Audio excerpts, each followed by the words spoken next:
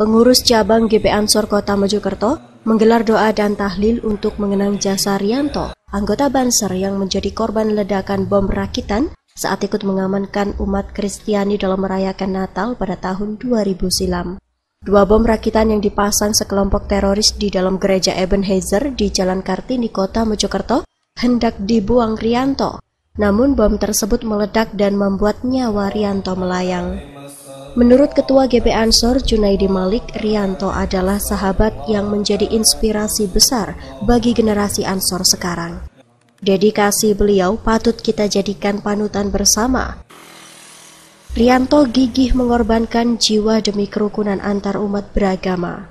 Pengorbanan itu merupakan cerminan wajah umat Islam yang rohmatan lil alamin. Yang jelas itu tokoh uh, sahabat kita yang menjadi inspirasi besar bagi generasi Ansor sekarang hmm. bagaimana dedikasinya beliau patut kita jadikan situ dan bersama dengan gigih mengorbankan jiwa untuk demi tegaknya kerukunan antar umat beragama itu merupakan aplikasi wujud dari Islam rahmatul alamin artinya memberikan sebuah keamanan untuk semua golongan semua uh, kerukunan yang ada dari Mojokerto, Jawa Timur, Nanang Fathuraji melaporkan.